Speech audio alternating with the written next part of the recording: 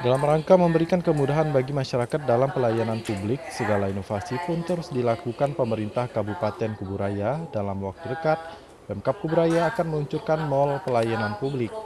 Nantinya mall pelayanan publik tersebut akan ditempatkan di pusat perbelanjaan yang ada di Kuburaya. Maria Agustina, Kepala Dinas Penanaman Modal dan Pelayanan Terpadu Satu Pintu menyebutkan, tidak hanya pelayanan publik dalam pengurusan perizinan, saja yang dapat dilakukan di MPP, namun non-perizinan juga dapat dilakukan di lokasi tersebut. Maria menambahkan jika hingga kini sudah ada sejumlah dinas yang akan melengkapi mall pelayanan publik tersebut.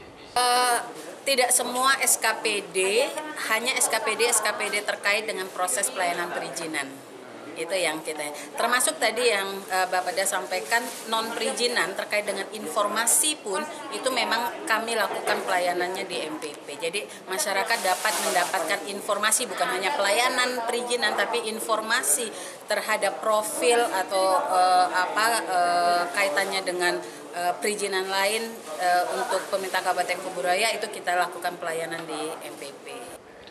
Muda Mahendrawan, Bupati Kuburaya menambahkan nantinya dengan ada mall pelayanan publik tersebut dapat memudahkan masyarakat dan hal ini harus segera terrealisasi.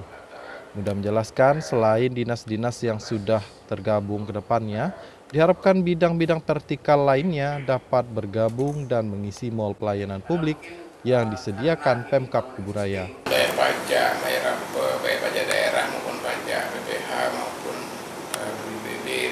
Dan lain-lainnya termasuk kendaraan termasuk hal-hal lainnya.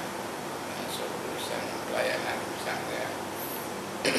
Yang pertanahan yang mungkin juga ke depan bidang-bidang yang lain ini vertikal yang lainnya yang memang diperlukan untuk pelayanan.